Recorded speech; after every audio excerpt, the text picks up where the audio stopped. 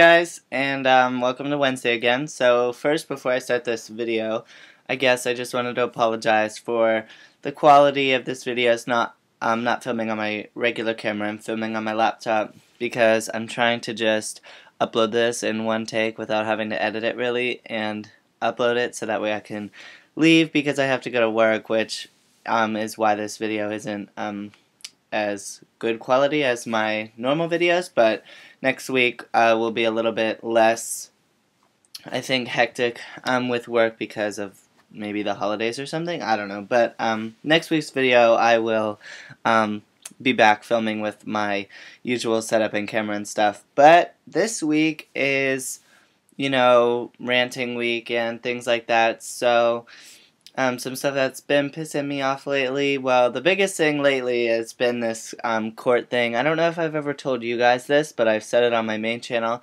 how I have to go to court um, for, I guess, technically hanging out with the wrong crowd and whatever. But you know, I had to get my um, fingerprints taken downtown on Friday. And so it was like really stupid, and they were really strict, and um, I don't know, I had to get my fingerprints, so I have court on Monday, but um, it was funny because the lady who was um, doing the actual fingerprints, she was very rude, and when I got there, um, she said, okay, well, hang tight, and um, I have to go smoke a cigarette because I just helped I don't know, six other people do their fingerprints or something, so I'm gonna need you to just sit down and wait for me. And she took like a half hour to do that cigarette. So I said to my mom, she was, um, she came with me because after we went downtown because they were having a little let up night, um, to get ready for the holidays and things. Um, but when my, when she left, I, I looked at my mom and I said, okay, so tomorrow at work when I, um, when I'm standing there at the register, I'm just gonna look at somebody and say, you know what, I just need a bit of a break. I'm just gonna have to take a, you know, half hour break. I've already helped about 20 people, so can you just hang tight? It was just very rude to me. I don't know. I mean, I think I got there a bit early, which, like, whatever, but it was just rude, you know? I mean, it, the sooner you get me done, the sooner you could go get your cigarette. But she took her cigarette break for like a half hour. It was a really long time. I don't know if she got stopped or what happened, but um, it was very rude. And also, what else has been pissing me off lately? Um, I went to the movies with this boy like two weeks ago or something. And we went to go see Sinister. Uh, so it was probably longer than two weeks ago because time seems to fly anymore. Um, but it was around when it first came out, kind of probably a few weeks after it came out. I don't remember. But um, we went to the movies and he was like talking the whole time and talking really loud talking throughout the previews and talking throughout the whole movie. Sorry i have like a bit of a sore throat which is why i keep clearing my throat. I don't know if i'm get, starting to get sick or something but just bear with me.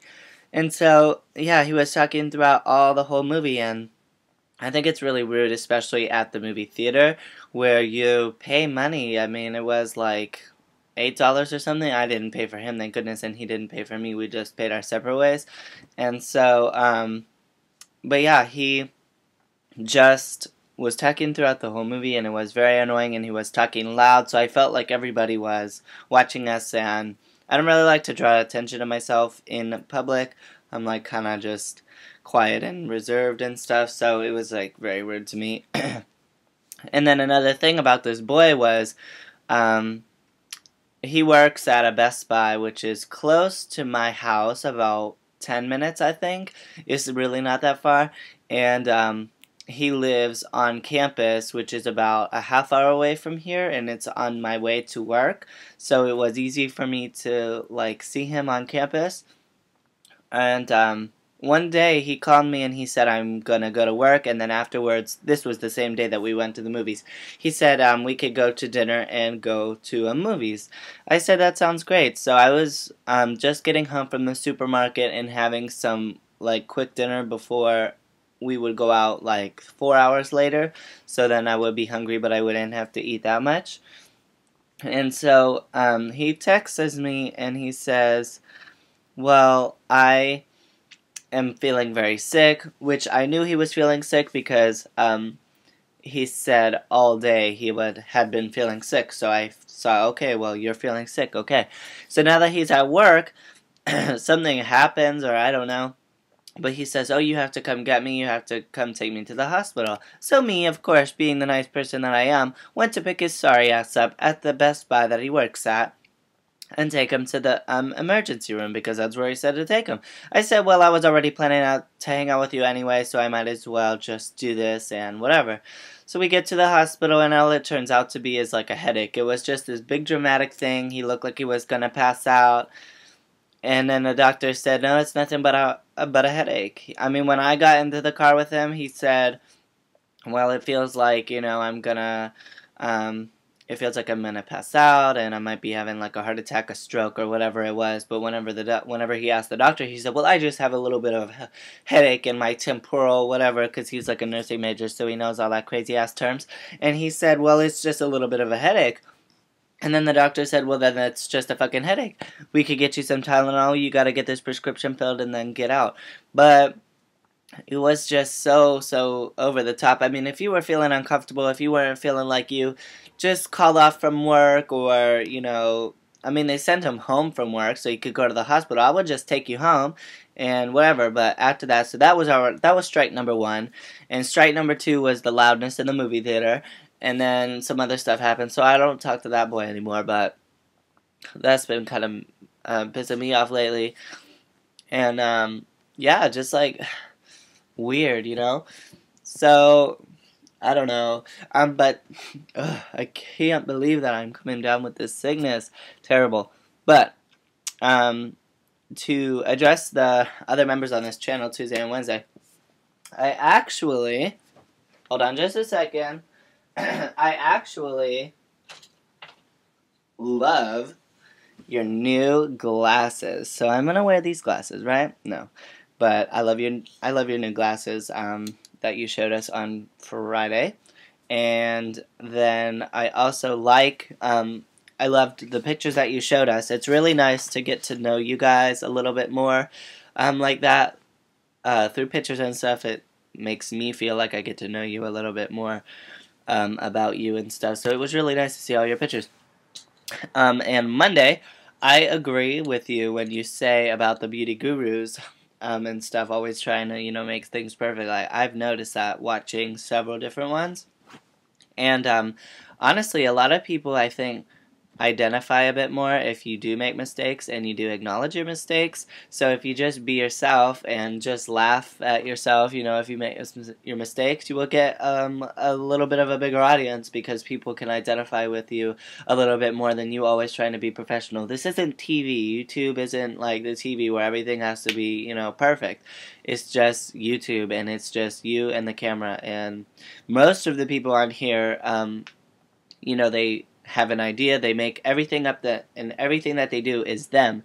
Um, they have the idea of the video. They edit the video. They put the video on the internet, and it's nobody else. So they can identify with you. It makes you a little bit seem a little bit more real. So I definitely agree with you on that. But I'm, I apologize again for the quality of this video. I apologize for being sick. I apologize for, you know, not this editing and uh, this week is just, I wanted to make sure that I got a video in on time, so I just um, quickly filmed this on my webcam for you guys. But next week we'll definitely, I'll um, be back in my normal setup and I'll talk with the other members. We'll figure out our next week's topic, I'm sure.